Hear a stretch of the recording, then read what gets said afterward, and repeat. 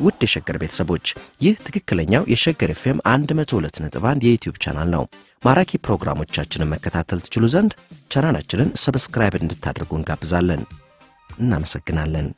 አንዳንዱ ሰው ማልዶ በሰዓቱ ከሥራ ገበታው ላይ ሲገኝ፣ አንዳንዱ ደግሞ አርፍዶ ይደርሳል። እረ እንዲያውም በሰበብ አስባቡ ከናካቴው የሚቀርም አለ። የዚህ ልዩ ወሬ ባለ ታሪካችን ግን ማልዶ ከመኝታው ከተነሳ በኋላ በአንድ ወይም በሁለት ደቂቃ ጊዜ ውስጥ በሥራ ገበታው ላይ ይገኛል። ትራንስፖርት አጣው ሳይል በዊልቸር ተገፍቶ ፈጥኖ ከደረሰበት ከሥራ ገበታው ላይ የሚገኘው መንፈሰ ብርቱ ሰው መላ ሰውነቱ አልላወስ ብሎት ከመኝታው ከወደቀ ሰባት ዓመታትን ያስቆጠረ ነው። ይህ ሰው አሁን ጥንካሬው ያልከዳው የሰውነት ክፍሉ ቢኖር የቀኝ እጁ አውራ ጣት ብቻ ነው። በእርሱ ሰርቶ እርሱንና ባለቤቱን ያስተዳድራል። ለኪራይ ቤቱም በወር አምስት ሺህ ብር ይከፍላል። ማልዶ ከመኝታው በመነሳት በአንድና በሁለት ደቂቃ ጊዜ ውስጥ ባለቤቱ ዊልቸሩን እየገፋችለት የሚደርሰው ቢሮዬ ብሎ ከሚጠራው ከሳሎን ቤቱ ነው። ይህ ከሰባት ዓመት በፊት በተለያዩ የመገናኛ ብዙኃን በጋዜጠኝነት በመንግሥትና በግል ተቋማት በሕዝብ ግንኙነት ኃላፊነት ያገለገለው ጋዜጠኛ ቁምላቸው አበበ ከሰባት ዓመት ወዲህ ከአውራጣቱ በቀር መላ ሰውነቱ እንዳይታዘዝ ያደረገው እክል እንዴት እንደገጠመው ረቡዕ ጥቅምት 3 2014 ከሰዓት በኋላ የካ አባዶ ከኪራይ መኖሪያ ኮንዶሚኒየም ቤቱ ደርሼ ሳዋራው ነግሮኛል። አንድ ማስተርስ መማር አልበቃ ብሎ ሁለት ነው መማረው ጊዜ ሁለት ሺ ሰባት ላይ ነው። አዲስ አበባ ዩኒቨርሲቲ ሁለተኛ ዲግሪን በ journalism እና communication እየተማርኩ ነበር። ከዛ ወጥቼ ቤት እየሄድኩ እያለ ቤት ልደርስ አካባቢ ወደቅኩ። ከዛ ሰዎች ደጋግፈው ያነሱኛል። ጓደኞችን ጠራኋቸውና ኮሪያ ሆስፒታል ይዘውኝ ሄዱ። በሂደት ሙሉ በሙሉ በቃ paralyzed ሆንኩ።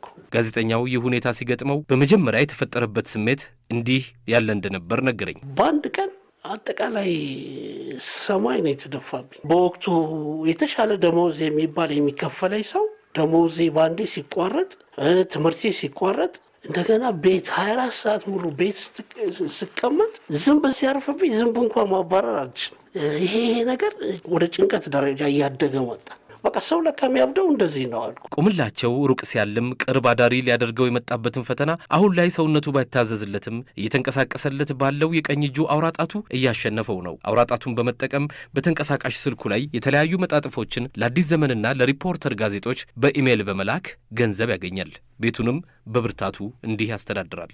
ሚዲያ በጣም addicted ነው።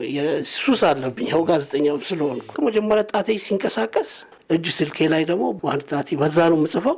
እስኪ ደግሞ በእጅ ስልክ እንዴት ተብሎ ይጻፋል? እኔ የጀመርኩት የለመድኩት በእስክሪብቶ በኮምፒውተር ላይ ነው። ከዛ በኋላ በእጅ ስልኬ article መጻፍ ጀመርኩ እና ይህን ስጀምር መጀመሪያ ሪፖርት ላይ በሳምንት ሁለት ጊዜ የሚወጡ ነበር።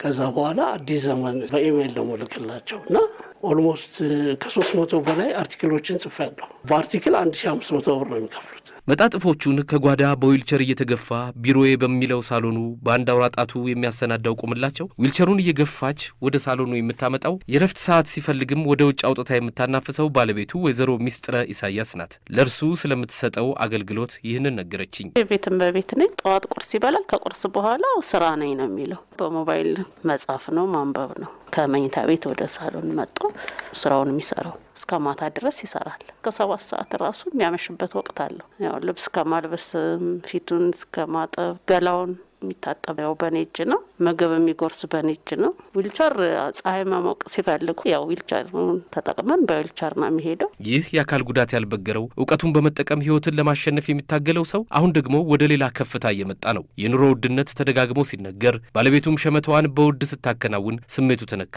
እናም በተኛበት የሸማቾች መብት ተቆርቋሪ ድርጅትን ጓደኞቹን በማስተባበር አቋቋመ። ከመንግስትም ፍቃድ አገኘ። አሁን የድርጅቱ መስራችና ስራ አስኪያጅ ነው። ስለዚህ የሚንገራችሁ የግብይት ስርዓቱ ላይ የማየው ህገወጥነትና ስርዓት አልበኝነት አናርኪዝም በጣም ሊስተካከል ይገባል እያልኩ ችግሩ ግን እየተቀረፈ አይደለም። ሸማቹ ትልቅ መብት እንዳለው ገበያውን በሚፈልገው መንገድ የመምራት የማድረቅ፣ የማስተካከል መብት እንዳለው ይህን አውቆ መብቱን እንዲያስከብር በሚል የተቋቋመ ነው። ድርጅቱ የኢትዮጵያ ሸማቾች መብት ተቆርቋሪ ድርጅት ይባላል። አሁን የተለያዩ ስራዎችን እየሰራ ነው። ቁምላቸው የዚህን ድርጅት ስራ ለማስፈጸምና ሕክምናም ሲኖረው ያለ ዊልቸር አይወጣምና ባለቤቱ እየገፋች የውጭውን ጉዞ ልታግዘው አልተቻላትም። ለዚህ ደግሞ የሚኖርበት የኮንዶሚኒየም ግቢ የጥበቃ ሰራተኞች ይተባበሩታል። አንዱን የጥበቃ ሰራተኛ ስለ አገልግሎቱ ጠየኩት። ዊልቸር ከዚያ እዚህ እናመጣለን። በወር ነው በሁለት ወር ምናምን ይወጣል ወደ ውጭ። ከዚያ እዚህ እናመጣለን። ከዚያን መልስ እናስገባቸዋለን እንዲያው ቤታቸው። ቁምላቸው ሰው ሆይ በሕይወት ዘመንህ መጥፎ አጋጣሚ ሲመጣብህ ፈተናው ቢከብድህም ወደ መልካም አጋጣሚነት የሚለወጥበት ሌላም መንገድ ይኖራልና ተስፋ ለመቁረጥ ራስህን ለማጥፋት አትቸኩል። ሁሉ